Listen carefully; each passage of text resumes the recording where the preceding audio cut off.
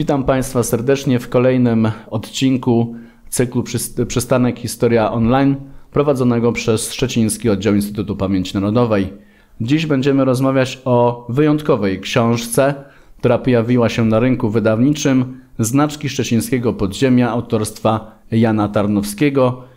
Jej autorami są pan e, Michał Guć i pan Henryk Mruk, ale jest z nami również bohater, bez którego tej książki by nie było. Przedstawiam zatem Państwu pana Jana Tarnowskiego, działacza opozycji demokratycznej, działacza NSZZ Solidarność, członka prezydium zarządu regionu NSZZ Solidarność Pomorza Zachodniego, w czasie stanu wojennego internowanego, co przy tej książce jest bardzo ważne, e, a później człowieka, który kontynuował swoją e, działalność związkową. Oraz dwóch autorów, pana Michała Gucia i pana Henryka Mruka, pasjonatów poczty podziemnej okresu PRL-u. Można tak powiedzieć, bo o tym, czy ta poczta podziemna zaczęła się w okresie lat 80., czy wcześniej, to pewnie porozmawiamy. Ale najpierw zapytam pana Jana Tarnowskiego. E, dlaczego? Dlaczego znaczki i dlaczego tak się stało? E, a potem zapytam, dlaczego taka tematyka, bo tematyka wielu tych znaczków jest, jakby nie mówiąc, wyjątkowa. Dlaczego się zaczęło? Zostaliśmy internowani w Goleniowie. W sąsiedniej celi był Jurek Zimowski, mój przyjaciel. I on, wiedząc, że ja wykonuję ekslibrisy, chciał zająć internowanych. I zaproponował, żebym zrobił znaczek, który zajmie w jakiejś mierze internowanych, od, odwróci ich uwagę od sytuacji, w jakiej się znaleźli. No i właśnie tam powstał ten pierwszy znaczek e, wykonany e, i to przy Żudziale co najmniej pana Skwierczyńskiego, który, z którym siedziałem w celi i który dostarczył papier. A zaczęło się wszystko od tego, że 27 miałem imieniny. I na te imieniny dostałem pudełeczko sardynek w, w oleju. No więc y, już olej był, trzeba było zrobić jeszcze sadzę. No więc kawałek prześcieradła zniszczyłem, prześcieradło państwowe i w wygiętej blaszce zebrałem trochę sadzy i rozmieszałem. No niestety te znaczki były dosyć bo śmierdziały rybą.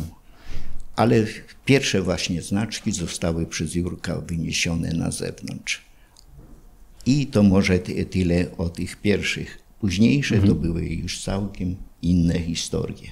No to porozmawiamy o tych historiach, to znaczy się, bo te znaczki, jak Państwo zobaczą w tej książce, mówię, że dlatego jest wyjątkowa, że również bardzo dobrze widać te znaczki.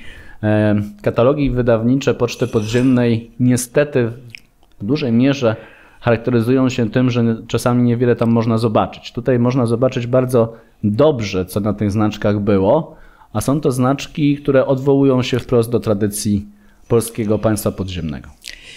No więc tutaj, jeżeli chodzi o te późniejsze znaczki, to była sytuacja taka, że w 1984 roku za zatrzymano kilku kolporterów, którzy przywozili e, pisma z Warszawy. No i zebrało się tego tyle, że przyjechała cała nyska dokument, różnych gazetek, pism, kaset i tak dalej. Trzeba było zapłacić. Ja dysponowałem akurat pieniędzmi podziemia na pomoc dla uwięzionych i ich rodzin za zgodą Andrzeja Milczanowskiego, który był przywódcą naszym podziemnym, E, zapłaciłem za e, tą przywiezione materiały, makulaturę, jak wtedy nazywaliśmy, no ale trzeba było zwrócić. Więc za pozwoleniem Andrzeja Milczanowskiego wykonałem pierwsze takie serie znaczków biało-czarnych mhm. w różnej, najpierw pojedynczo, później podwójnie, później potrójnie matryce były, tak żeby było możliwość e, kolportażu. I bardzo szybko się te rozeszły znaczki. Wobec tego już teraz zadziałała inna intencja. Intencja utrwalenia, czy małej bardzo zresztą ilości, bo jeżeli nawet kilkadziesiąt czy kilkadziesiąt e, znaczków, to żeby zainteresować ar o Armii Krajowej czy mhm. e, rocznicach, które wtedy były. A więc to jest rocznica e, katyńska, e, rocznica, e, to jest rok 40. Także to a było to powiązane nawet rodzinnie, bo jeden z moich wujków był w Starobielsku. Tu mam właśnie ostatni list, bo e, prawdopodobnie został wywieziony pierwszego dnia rozstrzelania. Mhm. Także te rocznice to były związane z tym. Tam jest e, Matka Boska Białomorska. Akurat jest, ciotka moja opisywała, że będąc w Archangelsku zesłana, że tamtędy przewożono w samochodach otwartych polskich oficerów. No i taka była informacja na tamte czasy, że wywożono ich barkami i te barki były ostrzeliwane później i zatapiane. To ta jedna e, z tych rocznic. Później było 75-lecie harcerstwa. To było związane już bardzo rodzinnie, bo e, cała rodzina mojej mamy należała do harcerstwa w Mińsku Litewskim. Mówię litewskim, bo wtedy jeszcze ta nazwa była obowiązkowa. Mm. Mińsk litewski, nie białoruski. I w tymże Mińsku było gniazdo harcerskie, tak się wtedy nazywało. I trzy były, e, trzy były takie harcerskie gniazda w Polsce. To było w Wilnie, w Lwowie, które powstało pierwsze i w Mińsku jako trzecim. Mhm. Tam było bardzo harcerstwo rozwinięte. Rozwinięte było przede wszystkim z uwagi na to, że Rosjanie cofając się w I wojnie światowej wypędzali wszystko, całą ludność przyfrontowo w głąb Rosji, a spod Ural. W Mińsku w tej sytuacji znalazło się bardzo dużo Polaków, tych wygnanych. A jednocześnie roz, rozpoczęciem rewolucji październikowej zaistniała sytuacja mordowania polskich właścicieli na ziemi mińskiej. I ta cała ludność właśnie zebrała się dla ratowania siebie czy swego życia w Mińsku. I tak, ze 100 tysięcy na początku wojny Mińsk litewski liczył ponad 200 tysięcy. Z czego licząc na początku było Polaków 30-40%, to w roku już 18 liczyło ponad 130 tysięcy to byli Polacy. Hmm. I wobec tego te zmniejszenie tej e, nacisku represji jeszcze carskiej spowodowało, że od 905 roku zaczynały się tam poluzowania. Doprowadziło do tego, że w Mińsku Litewskim był jedno gimnazjum polskie powstało, dwa gimnazja żeńskie, kilkadziesiąt kilkadziesiąt szkół podstawowych. No, rozwijało się harcerstwo, sokolstwo, bo e, powstała ta organizacja Sokoły, która zrzeszała bardzo dużo, a w podziemiu POW. Mhm. Tutaj e, mam takie zdjęcie z domu dziadka, w którym, e, w którym akurat posiedzenie sztabu POW w Mińsku. Mhm. Wobec tego i trzeba jedno dodać. Lenin wydał taki rozkaz do wszech, do wszech, żeby wyłapywać Polaków i bez sądów zabijać, rozstrzeliwać. Wobec tego ten nastrój w Mińsku był, powstało ČK, które już bardzo dużo naciskało, ale i zarówno w ČK, jak i e, w szkole komandirów znaleźli się Polacy. Przedstawiciele przede wszystkim harcerstwa, którzy należeli do POW. Mhm. I w tej sytuacji, jak w roku, i to już odnoszę do jednego ze znaczków, czy do dwóch nawet, e, zaistniała taka sytuacja, że komendant frontu zachodnio-północnego, Miasnikow, zdecydował o rozwiązaniu polskiego problemu. Miało to być w ten sposób, że aresztowania, a aktywnych Polaków rozstrzelać. Pojechał do e, Moskwy. Został zresztą pociąg wysadzony przez e, drużynę taką minerów, będącą w Mińsku, a komendantem placówki, bo tak się to nazywało, był Ignacy Matuszewski, który na 20 lutego polecił wykonanie przejęcia Mińska w ręce polskie. 18 lutego 1918 roku.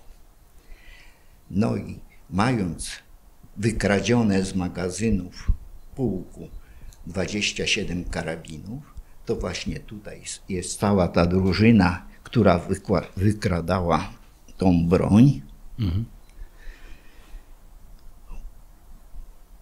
Grupa e, ułanów udała się do magazynu i do magazynu koszarowego, który, w którym było zresztą akurat 300 bolszewików i udało im się opanować i te załadować karabiny i wywieźć do oczekujących bezbronnych.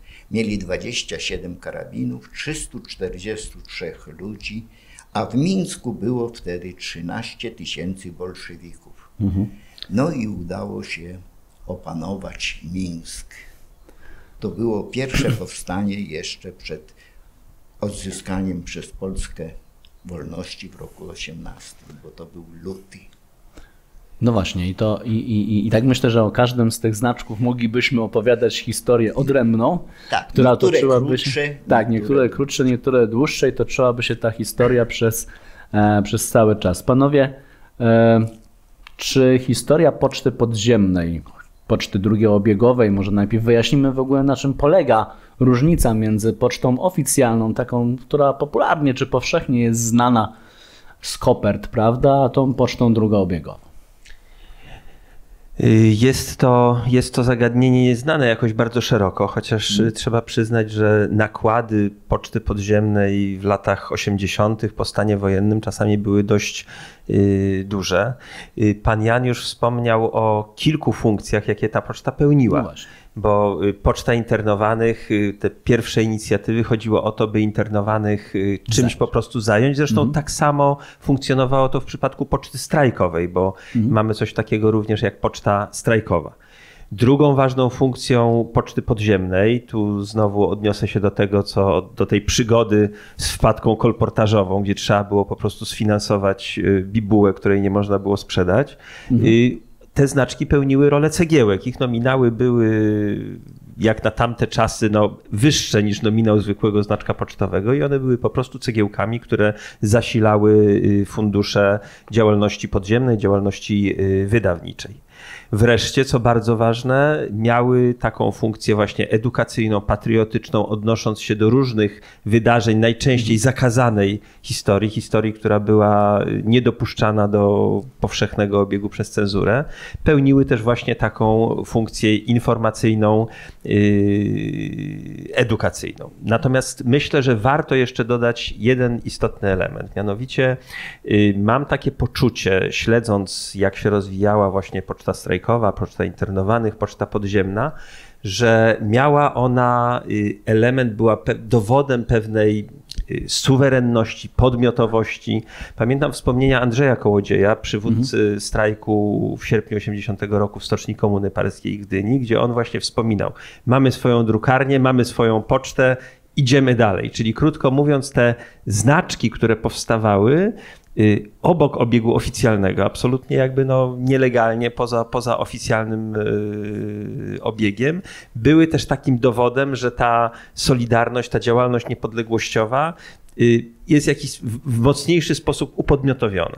Zresztą później widzimy w latach 80. Y, pojawiają się poczty nie tylko Solidarności, ale KPN-u, NZS-u, WIP-u, y, ZHR-ów, różnych podziemnych, nielegalnych organizacji, właśnie pokazując my tu jesteśmy, my tu działamy, czyli był to też taki element właśnie tego szerszego nurtu, jakim była oświata niezależna, kultura niezależna, czyli to państwo podziemne z czasów właśnie od stanu wojennego no, do y, okrągłego stołu. Czy poczta podziemna jest, y, czym nie wiem, to pytam, kontynuuje jakieś tradycje na przykład y, poczty drugowojennej, bo na przykład prasa podziemna drugiego obiegu można przyjąć, że wprost wywodziła się z tego, co miało miejsce w czasie II wojny światowej, czyli tej nielegalnej prasy wydawanej poza niemieckim czy sowieckim oficjalnym obiegiem, no, która generalnie przekazywała po prostu prawdę, bo starała się przekazywać prawdę na, tego, na ten temat, co się dzieje. Natomiast czy takie same e, odwołania można zobaczyć w poczcie? Czy to jest to taki fenomen, e, ta poczta podziemna, mm, czy poczta strajkowa również wcześniejszych lat, bo przecież E, wiemy doskonale, że i poszukujemy na przykład poczty strajkowe z lat 70., tak, z grudnia 70 roku. Czy ona była dokładnie takim samym fenomenem, jakim na przykład było zupełnie nieznane gdzie indziej na świecie Radio Solidarność? Myślę, że takim najsilniejszym y, połączeniem, odniesieniem może być poczta y, obozów jenieckich z czasów no. II wojny światowej Właśnie. i poczta internowanych. I tutaj mhm. zresztą to się nawet pojawia we wspomnieniach internowanych mhm. czasami, że, że tam były ewidentne asocjacje, że była to właśnie taka, mhm. Y, było to nawiązanie do tej historii właśnie z czasów, z czasów II wojny światowej. Natomiast jeśli chodzi o pocztę strajkową czy podziemną, no oczywiście w czasach y, II wojny światowej istniało coś takiego jak poczta podziemna, natomiast tych y, emisji było relatywnie niewiele. Mhm. Była jeszcze poczta harcerska y, w mhm. czasach tak. powstania warszawskiego, aczkolwiek ona pełniła taką funkcję typowo doręczeniową. Tak? To, mhm. byli, to byli kurierze, ci najmłodsi harcerze, zawiszacy, którzy po prostu przenosili przesyłki pomiędzy poszczególnymi punktami, pomiędzy dzielnicami.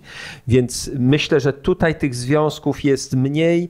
Mocniej chyba y, przyczynił się do rozwoju jednak ten element właśnie pozyskiwania funduszy na działalność podziemną, bo te znaczki czasem ładniejsze, czasem brzydsze, ale właśnie kupowane, kolportowane, wpuszczane y, w sieć kolportażu razem z gazetami, razem z książkami podziemnymi, po prostu były takim no, istotnym też zasileniem finansowym podziemia. Mhm.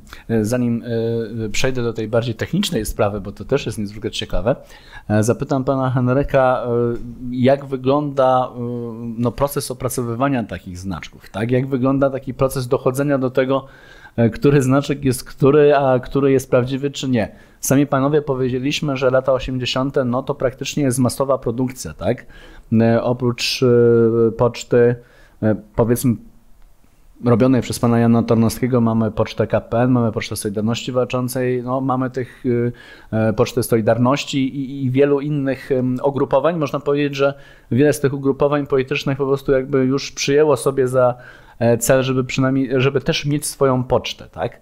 E, więc pytanie, i, i, i na ile jest to trudność? No, wiemy, że filatelistyka, ta taka no, powszechna czy popularna, no, cieszy się e, ogromną popularnością również e, w badaniach. Tak? Trzeba to rozróżniać, bo pojawiają się fałszywki, pojawiają się różnego rodzaju białe kruki.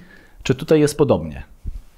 Tak, oczywiście w poczcie e, podziemnej, że tak całościowo to, no właśnie, to tak, ujmę. Tak, tak.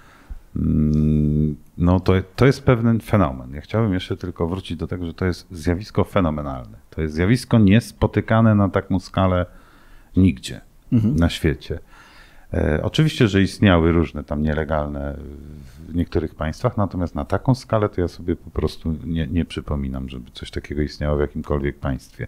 Tak nawet sobie pomyślałem, że Polacy mają coś w sobie, tak? Taką tak. smykałkę do tego, żeby się przeciwstawiać e, po prostu, no w tym wypadku reżimowi, tak, e, komunistycznemu. Ja chciałem jeszcze podkreślić jedną rzecz.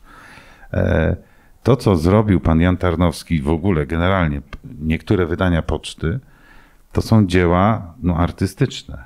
Mhm. Możemy tak rozpatrywać, ponieważ pan Jan robił linoryty. No właśnie, do, do A jak wiemy, nie, linoryty to są, to już jest dzieło artystyczne.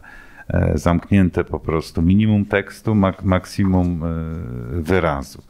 Jeżeli chodzi o poczty, te, o których Pan wspomniał, tak, to później rozwinęło się to znacznie, ale to było takie zjawisko późniejsze. Porządkując pewne chronologię, chronologię mhm. tak, na początku wyróżnić by należało pocztę strajkową. To jest pierwsze, co, ten, co powstało. Przepraszam, Już poczta, lata... poczta strajkowa, y, ale y, mm, od którego momentu można, że tak powiem, od którego momentu panowie wiecie, że taka poczta strajkowa istnieje? To znaczy najwcześniejsze rzeczy to powstały z tego, co my wiemy, mhm. tak, do, do, gdzie udało się dotrzeć. To rok 1970, Szczecin, Polmo. Mhm. I jeżeli ktokolwiek ma, kto będzie oglądał ten program, ma informacje na ten temat, to bardzo byśmy prosili o podzielenie się, ponieważ e, jak pan profesor wie, luka jest tutaj dosyć duża, mm. czasowa, tak? I trudno dotrzeć do. Owszem, docieramy nawet arkusze, tak? Czy, czy, czy, czy fragmenty arkuszy posiadamy e, poczty strajkowej, natomiast nie docieramy do ludzi. Kto to robił? Mm. Tylko, że tam była poczta strajku ekonomicznego. Tak było dokładnie na znaczku. Poczta strajku mm. ekonomicznego w roku 1970. E, następnie powstała poczta strajkowa z lat, y, wiadomo, tak, 80. Następnie możemy wyróżnić pocztę obozów internowania i zakładów karnych oraz wojskowych obozów specjalnych, WOS-ów. Tak jest, na, ja posługuję się e, słownictwem, które wtedy obowiązywało. Mhm. Nie posługuje się słownictwem jako środki odosobnienia, tak, czy coś takiego, tylko tak, jak wtedy nazywano obozy internowania i tak dalej. To jest też część zakłady karne i te wojskowe obozy specjalne. E, część poczty tam też funkcjonowała. I następnie dopiero mamy pocztę podziemną, która mhm. już jest poza tymi strukturami tak. i wydawana przez różne organizacje. Tych organizacji było dużo. I im później, tym taką mam, takie mamy wrażenie chyba razem, że każda z tych organizacji próbowała zapewnić sobie jakieś środki e, do życia. Mhm. Te środki służyły też. sprzedawane. Tak, te środki służyły do tego, żeby na przykład bibułę rozrzucać. No, wyrzucenie mhm. ileś ulotek z bloku, tak, iluś ulotek tak. E, z bloku, to ulotki te za darmo, ale ktoś trzeba to zrobić. Papier, mhm. no wszystko kosztuje, tak? No to jest trochę takie owianą tajemnicą. Wydawałoby się, że wszystko, co było robione w podziemie, to pro publico bono e, i że e, za to nie płacono, bo no, cel, był, cel był szczytny, natomiast no, rzeczywistość była zupełnie inna. Rozmawiałem y, niedawno z y, Markiem Biernackim, y, posłem, a w, czas, w, latach, w latach 80. działaczem podziemia, i Marek opowiadał mi o tym, że mieli na przykład drukarza, który drukował znaczki tak zwanej niezależnej poczty Pomorza i z tego się jakby utrzymywał. Natomiast on właściwie był, można powiedzieć, pełnoetatowo drukarzem podziemnym, czyli utrzymywał się z drukowania znaczków, natomiast drukował również książki, gazety, czyli jakby no, był to pewien obieg zamknięty, suma środków uzyskiwanych, bo część gazetek była, przypomnę, rozdawana, była dystrybuowana darmowo, no, podobnie jak rozrzucane ulotki, ale były też, był też tak. szereg tytułów, które były sprzedawane. Mhm. Natomiast no, koszt pojedynczego egzemplarza był relatywnie niewielki, więc na tym żadnego jakby zarobku nie było. To mogło zwrócić koszty papieru, farby, pasty komfort i tak dalej. Natomiast, y, natomiast właśnie kwestia chociażby pracy ludzi, no Czasem to byli ludzie, którzy w całości się poświęcali działalności podziemnej. Trzeba było ich jakoś utrzymywać i na przykład właśnie znaczki, które miały jednak te nominały wyższe, w tym, w tym pomagały. No, dodajmy do tego, że trzeba było ich też zakonspirować, bo zadrukowanie, szczególnie w okresie stanu wojennego e, poczty podziemnej, groziły surowe kary więzienia, bezwzględnego więzienia, więc oni też musieli być no, dobrze, dobrze schowani. Jedno, Proszę bardzo. Jedno zdanko tylko na przykład w Milanówku bodajże, tak, były trzy niezależne e, drukarnie, nikt o sobie nic nie wiedział i jedna z tych drukarni mm, drukowała na zlecenie, czyli właśnie mhm. w ten sposób, że dostawała zlecenie, proszę to i to wydrukować w taki a taki nakład i po prostu ten drukarz to drukował. I to nie jedną serię, nie dwie serie, bo mamy takich e, serii, mhm. które on wydał, jest kilka. Kto był odbiorcą? Struktura, która y, zamawiała u niego, tak? Mhm. To, Czyli... to odbiorcy byli. To no, kazali sobie, y, na przykład na znaczku był, y, mm, no załóżmy ZKR, załóżmy jakaś tam organizacja, która zlecała druk. Mhm. Ten druk został wykonany, to tak samo gazetki. Oni nie robili tylko znaczków, na przykład MKK Wola, tak, Rosłoń i Adamiak w Warszawie, oni nie drukowali tylko znaczków. Mhm. Oni drukowali e, gazetki, e, przede wszystkim, tak, gazety i rozprowadzali to, bo MKK dosyć sprawnie to działało, zwłaszcza taksówkarze i taryfiarze we wczesnym tym, mhm. to wiemy o tym, że oni mieli swobodę poruszania się, ale również oprócz gazet oni właśnie na zlecenie e, robili, no, najsłynniejsza ich na przykład Madonny, tak, bardzo słynne takie wydanie MKK Wola. Tak mhm. Dokładnie sygnowane to jest lub MKK. Mhm. E, to porozmawiajmy chwilę o tym, jak to się drukowało. Ja mam tutaj taką typową płytkę PCV z lat 80. Sam je jeszcze dobrze pamiętam, e, jak one wyglądały i co było nimi wykładane. I dziś ona z tej strony wygląda w ten sposób, a z drugiej strony wygląda w ten sposób. Tutaj pan Henryk mówił o tym, że e, to jest e, działalność artystyczna. Rzeczywiście, jak się patrzy na te znaczki, szczególnie jak się je widzi w blokach, jak to się e, fachowo nazywa, to zadziwia kunsz tego, a dodajmy, że no tak jak mówiłem, to była jednak praca o mm, którą można było okupić więzieniem, represjami, grzywną, można było no, też znaleźć się na tak zwanym dołku e, esbeckim. Panie Janie, jak to się robiło? Po pierwsze, to było właśnie tak, jak rozpoczęliśmy w Goleniowie, a później kontynuowaliśmy w Wierzchowie, to były płytki PCV. Mhm. Natomiast nożyki to były różne. Ja znowu zdewastowałem łóżko, bo wyłamałem pręt i na y, oknie z lastryka wyostrzyłem. No i tym właśnie te pierwsze znaczki były robione. Pod koniec dostałem, pożyczyłem właściwie zarówno okulary, bo mi już się wzrok psuł, i e, dostałem nożyk od artysty, który w tej chwili e, jest koło brzegu, siedział z nami i w jakiejś tam mierze e, w tej chwili pomniki wykonuje. No i ten już był bardziej dokładny, bo nożykiem można było te literki bardzo sumiennie mhm. i dokładnie wyciąć. To były te pierwsze, a później to większość była na sito druku.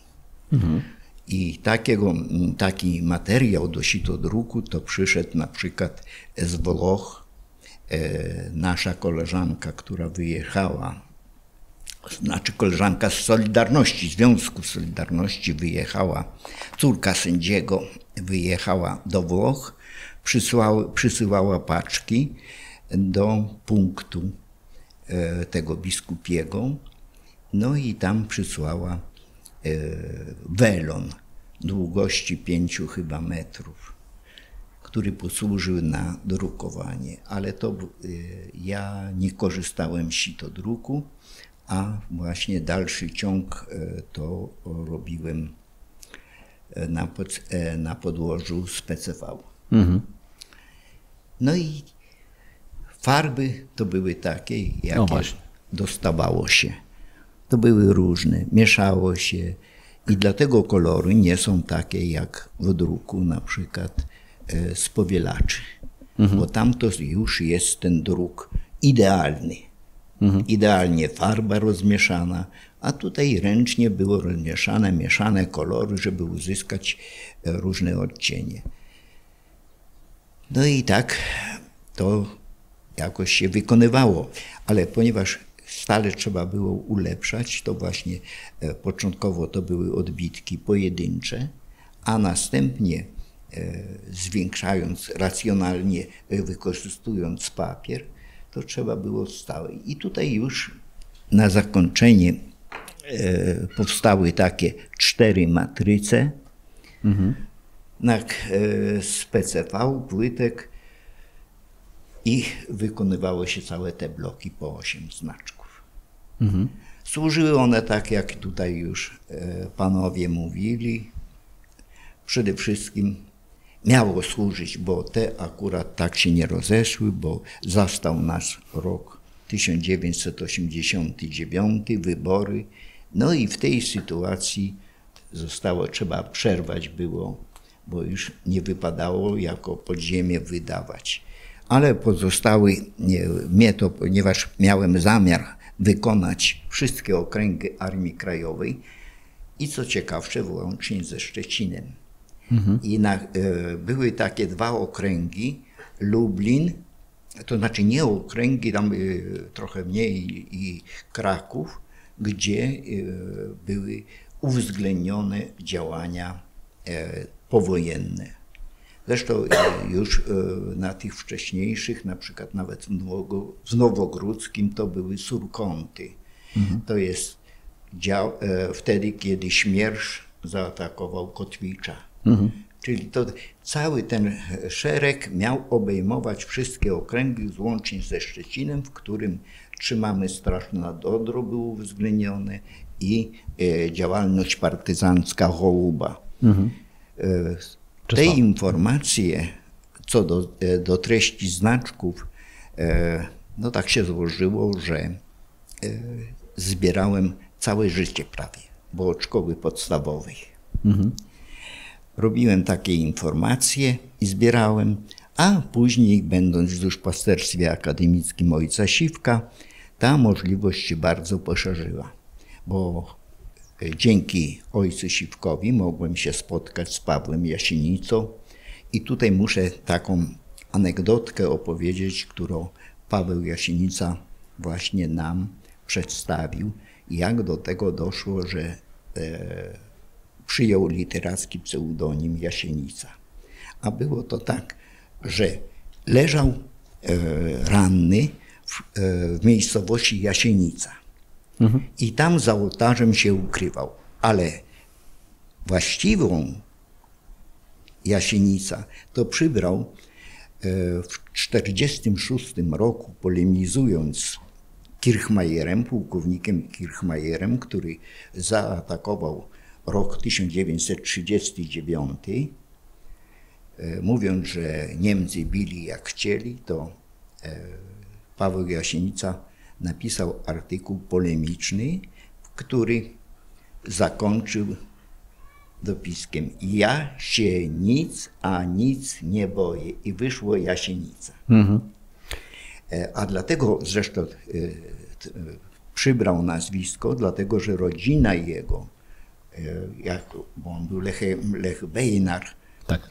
znajdowała się w Wilnie. I bojąc się, że może, jeżeli tu zacznie e, pisać, a pisał w Tygodniku Powszechnym, to może zaszkodzić e, przyjazdu tutaj na te tereny e, rodziny.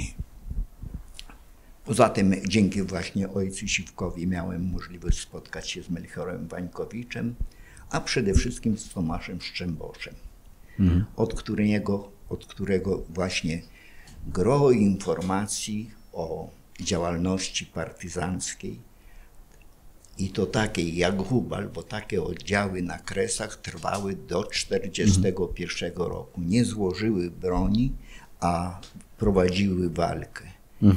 I no, to wszystko było tylko tak powiada- opowiadane między sobą. To jeszcze by przecież przed rokiem 89, więc upamiętnienie tego, żeby został jakiś ślad, to były właśnie e, wykonanie na tych znaczkach, żeby ślad, nazwa powstała. I owszem, tu są pewne pomyłki, pomyłki w datach, pomyłki w sytuacji, bo to były informacje przecież nieudokumentowane ani e, tymi materiałami ze służb UB czy SB, ani też materiałami sowieckimi, które jakoś w, pewnym okresie trochę poluzowano. No i teraz to już wiem, że trzeba by było niektóre daty sprostować. Mhm. E, Panowie, y, jaki rodzaj przekazu, jaka tematyka dominowała w znaczkach? Czy była to tematyka przeszłości, historii odwołującej się właśnie do polskiego państwa podziemnego, czy była to tematyka aktualna? Ta dotyczyła najbliższej historii działalności związku, przywódców i tak. Czy da się wyróżnić takie naj, najczęściej eksponowane po, pola tematyczne? Tych pól było wiele, tak jak pan Jan mówił, no na pewno y, takim bardzo szeroko eksploatowanym polem była historia Polski. To, co pan Jan robił, dokumentując właśnie działalność czy polskich sił zbrojnych na Zachodzie, czy później Armii Krajowej, czy harcerstwa. y, To jest bardzo duży jakby element y, tej poczty, poczty podziemnej. Znam nawet osoby, które kolekcjonują wyłącznie na przykład y, II wojnę światową w poczcie podziemnej. No, na pewno takim tematem bardzo mocno eksploatowanym był Katyń. Tak? Wtedy to był tylko Katyń, bo tak naprawdę o pozostałych miejscach kaźni jeszcze wtedy nie wiedzieliśmy. Natomiast ten Katyń pojawia się bardzo często na znaczkach poczty podziemnej, ale pojawiają się też y, wydarzenia z najnowszej historii Polski, a więc y, Poznań y, 56 rok, y, grudzień 70 roku w Trójmieście, w Szczecinie, pojawiają się rok 68, pojawia się Radom, Ursus 76. To są też tematy, które w poczcie, w których w poczcie podziemnej do nich często nawiązywano. No i wreszcie są też wątki zupełnie y, współczesne, czyli jedenastka przywódców Solidarności uwięzionych, oczywiście ogromna liczba znaczków y, w roku przyznania Lechowi Wałęsie Nagrody Nobla poświęcona y, tej jakby y, okoliczności. Y, Bardzo dużo znaczków y, wyszło w związku z pielgrzymkami Ojca Świętego do Ojczyzny, trochę mniej w 83, zdecydowanie więcej w 87, bo wtedy już ta poczta podziemna, że tak powiem, się rozhulała. Y, Tak więc y, tych, te tematyki właściwie pokrywały, można powiedzieć, wszystko, co było w jakiś tam sposób y, zakazane, niewygodne dla władz, znajdowało swoje odzwierciedlenie właśnie w znaczkach y, poczty, niezależnej poczty podziemnej. Mhm. A proszę mi powiedzieć, my historycy wiemy o tym, że Służba Bezpieczeństwa na przykład fałszowała gazetki. Tak, starając się wprowadzać y, z jednej strony pewnego rodzaju niepokój wśród tych, którzy y, to produkowali. Oczywiście e, transportować własne treści, własne treści, szczególnie widoczne było to przy gazetkach, które dotyczyły chociażby Kościoła katolickiego, próby rozbicia jedności tego kościoła, pokazania księży z innej strony i tak dalej. Czy w, dało, da się w, zauważyć podobną tendencję w, w poczcie podziemnej? Czy SB w ogóle podjęła taką próbę, żeby fałszować znaczki? To znaczy podejmować raczej na pewno podejmowała, natomiast czy się udało? Raczej nie. Mhm. Mamy podejrzenie co do jednego znaczka, e, dosłownie, że mógł, mógł powstać e, no, nie zrobiony przez struktury podziemne, tylko wręcz nadziemne, przez SB po prostu. Natomiast e, wy, wydanie znaczka to jest pół biedy, ale teraz trzeba go wprowadzić do kolportażu. Mhm. To nie jest takie proste, żeby wprowadzić znaczek do kolportażu, ponieważ nie przyjmowano od każdego, o ja zrobiłem znaczki, tak, i proszę mi to rozprowadzić na terenie no Polski czy za granicą, tak. To była sieć kolporterów. Y, ci ludzie albo mieli skrzynki kontaktowe, albo y, hasła i tak dalej, i w ten sposób było to przekazywane w różny sposób, tak, no bo akurat pan Jan jest przedstawicielem ogólnie rzecz biorąc kolejarzy, którzy mieli świetnie to zorganizowane i sobie to naprawdę zazdrościć tylko, ponieważ poruszali się praktycznie po całym kraju no tak. i mogli wozić y, i być kurierami również, tak? Także raczej y, wbicie się w struktury zakonspirowane, bo to jednak było wszystko trochę zakonspirowane, nawet bardzo, y, byłoby trudne. Aczkolwiek wydanie gdzieś, na przykład załóżmy w Szczecinie, jakiegoś znaczka przez Służbę Bezpieczeństwa, no jest oczywiście możliwe, tak? Tylko y, proszę również pamiętać o tym, że większość tych nakładów była e, anonsowana w, w podziemnej bibule, tak? W gazetach podziemnych mhm. i tak dalej. Bardzo często spotykamy e, w jakich kolorach, tak? Na mhm. przykład mhm. została wydana dana seria. Mm, ponieważ, jak tutaj mój mm, kolega wspomniał, rozhulała się poczta i rzeczywiście się rozhulała. Niektórzy próbowali e, po prostu robić biznes na tym, no e, więc to zostało ukrócone w ten sposób, że oficjalne wydania były anonsowane w prasie podziemnej. Czy oficjalne, nielegalne wydania. Oficjalne, nielegalne. Natomiast, żeby nie było tak różowo, no, znane są też sytuacje, gdzie na przykład y, drukarze robili jakąś tam lewiznę. Czyli krótko mówiąc, jest na przykład takie wydanie z y, politykami II Rzeczpospolitej, trzy bloczki wykonane na zamówienie y, PPN, Polskiego Porozumienia mhm. Narodowego.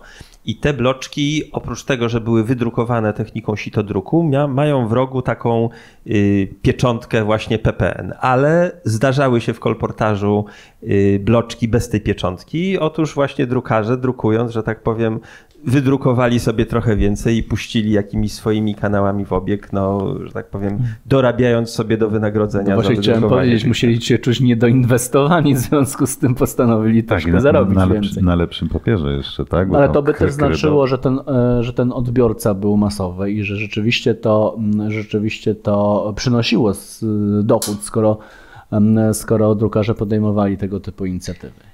Na pewno, znaczy to szło generalnie, tak, takie jest zresztą moje doświadczenie, na przykład mhm. jak y, przywoziłem bibułę z y, Krakowa czy z Warszawy do Trójmiasta, to było tak, że zaczynałem od y, gazet i książek i w momencie, kiedy już się wchodziło na pewien poziom, kiedy z grupą y, takich no, zaprzyjaźnionych harcerzy, instruktorów harcerskich, już tak powiem, zorganizowaliśmy taką no, całkiem sporą sieć, bo to było y, co tydzień ponad tysiąc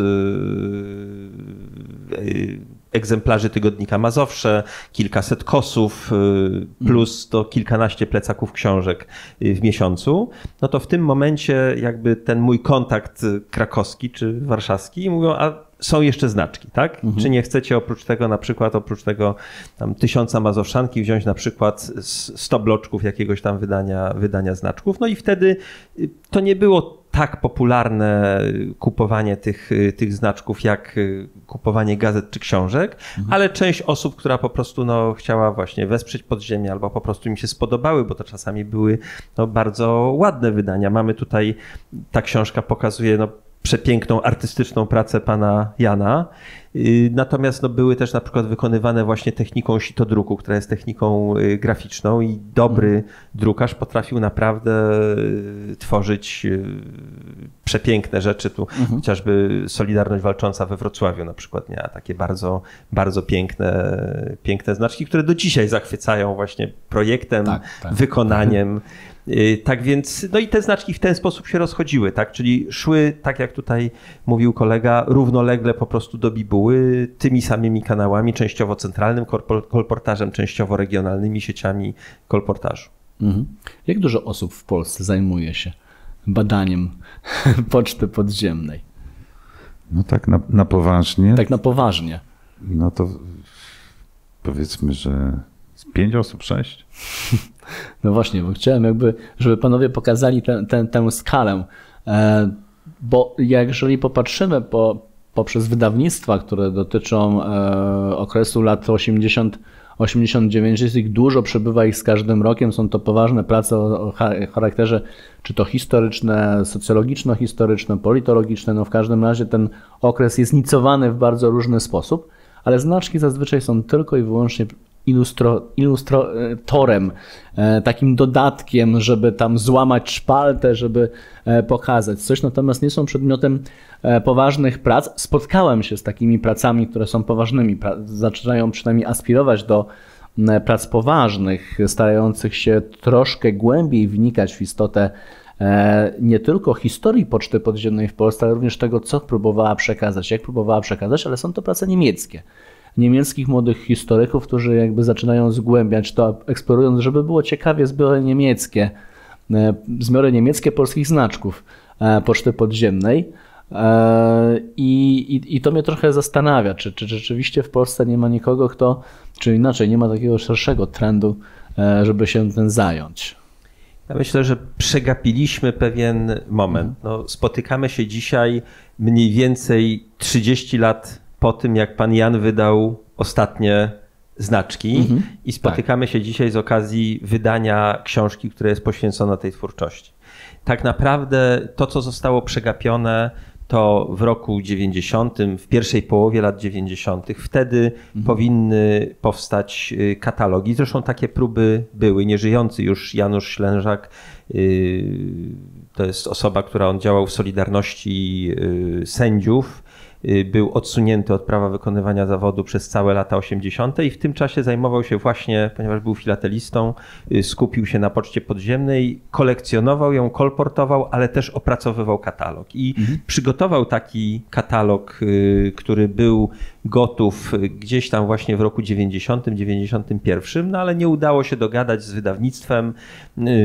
No krótko mówiąc, ten katalog nie wyszedł mam go w rękopisie do dzisiaj, bo mhm. tak się poskładało, że yy, jakby trafił on w moje ręce. Jest to oczywiście ciekawy, ciekawy dokument, ale gdyby wtedy wyszły katalogi, nawet niedoskonałe, mhm. to później można by je udoskonalać. Żyli jeszcze ludzie, którzy to robili. No, szczęśliwie mamy to szczęście, że pan Jan cieszy się dobrym zdrowiem i mógł y, i pamięcią i mógł się podzielić ogromną ilością informacji, która posłużyła nam do y, opisania jego twórczości w tej książce, ale niestety no, bardzo wiele osób, które były związane właśnie z tym niezależnym ruchem wydawniczym, już y, ci ludzie nie żyją po prostu i te informacje już przepadły często bezpowrotnie mhm. i trudno będzie to odtworzyć. Dzisiaj troszkę działamy tak jak y, archeologowie, czyli docieramy czasem przypadkiem, czasem na aukcjach internetowych, czasem w jakichś kolekcjach do jakichś wcześniej nieznanych wydań, no i próbujemy dojść do tego, dociec skąd one się wzięły, no ale niestety już świadków, którzy uczestniczyli w ich wydania, wydaniach niestety nie ma. Mhm.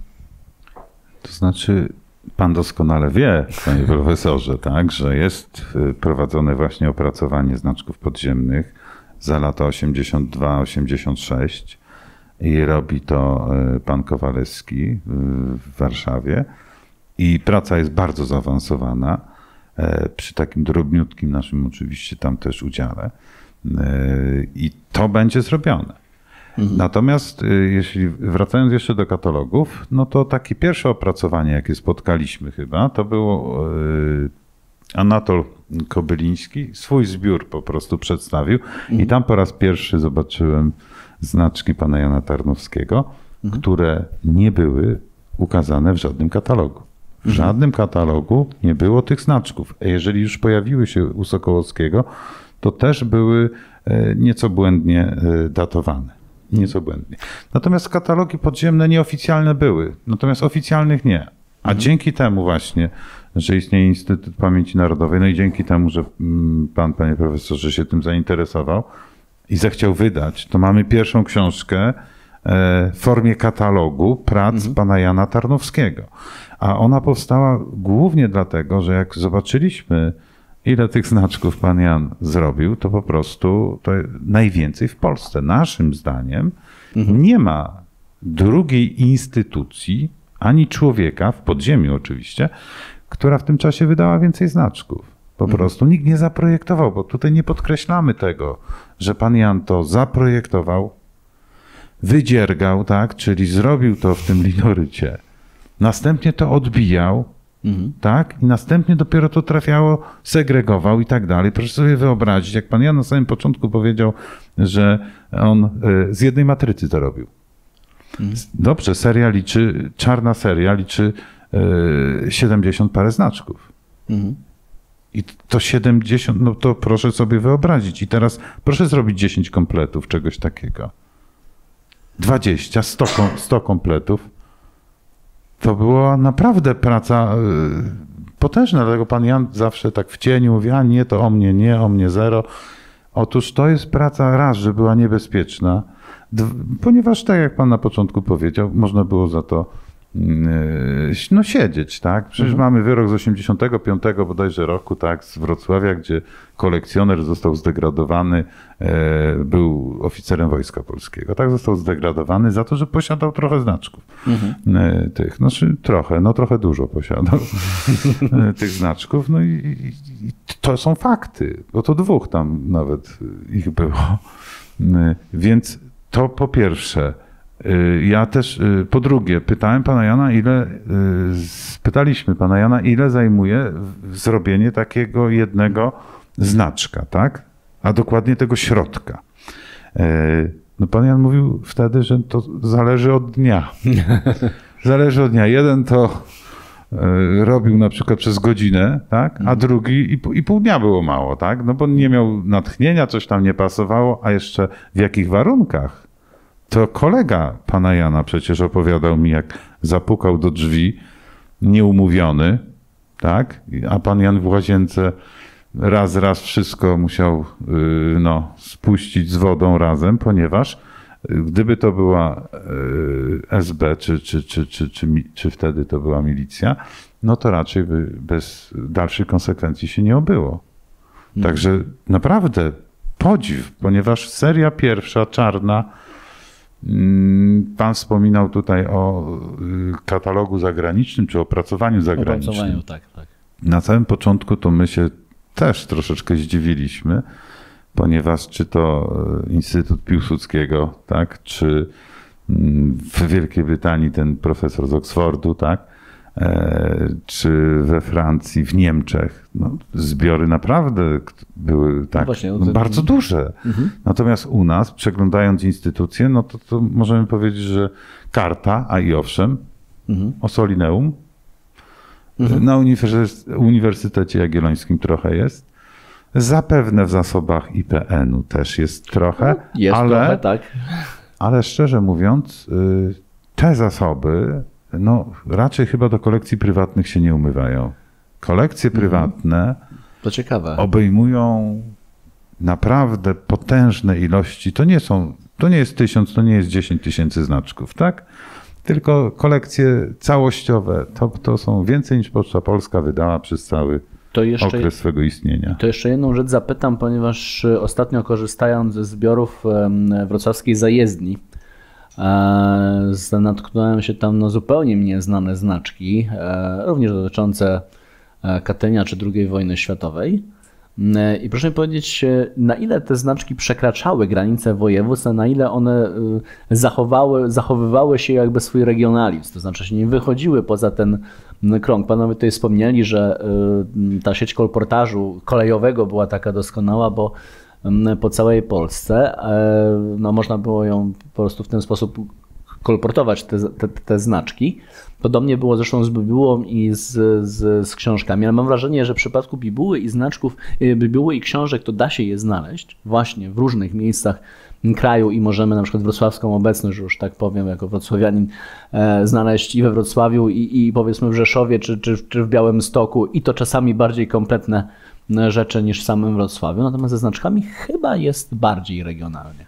Y, myślę, znaczy nie ma tutaj reguły. Dużo mhm. zależało od tego, jaka struktura wydawała znaczki, no mhm. bo ona y, potem wykorzystywała swoją sieć kolportażu. Jeżeli była mhm. podłączona do centralnego kolportażu, no to mhm. oczywiście w tym momencie te znaczki y, mogły trafić do Warszawy, a stamtąd na inne regiony. Dużo też oczywiście należało od nakładu. Są na przykład znaczki rzeszowskie, bardzo rzadkie i cenione przez kolekcjonerów, których właściwie no, nigdzie nie można znaleźć. Poszczególni kolekcjonerzy posiadają po kilka, kilkanaście sztuk to już jest, że tak powiem, bardzo, bardzo dobry wynik, bo te znaczki rozeszły się tak naprawdę zupełnie, zupełnie lokalnie i y, dzisiaj są naprawdę białymi krukami. A są też wydania, które były y, wydawane, nawet oficjalne, podawane na blokach nakłady wynosiły kilka tysięcy. No i w tym momencie tu nawet była konieczność, żadna lokalna struktura, żadna regionalna struktura nie byłaby w stanie rozprowadzić ich wśród sympatyków Solidarności w obrębie jednego jednego czy kilku województw, w związku z tym one no, musiały po prostu trafić do y, kolportażu w całej Polsce. No i oczywiście w tym momencie można je znaleźć, y, znaleźć wszędzie, ale tak jak mówię, nie ma tutaj żadnej reguły. Bywa, że znaczki wydawane w małym nakładzie rozchodziły się szeroko po całej Polskie, Polsce, a znaczki wydawane w powiedzmy w średnich nakładach y, były dystrybuowane tylko lokalnie. Po prostu mhm. wszystko zależało od konkretnej sytuacji, od konkretnej struktury, która takie znaczki y, wydawała. Mhm. Tak, jeszcze jako uzupełnienie dodam, że y, nie raz i nie dwa można spotkać takie przypadki, gdzie na znaczku mamy na przykład coś sygnowane Białystok. A to w ogóle tam nie powstało. To powstało w Warszawie, tak?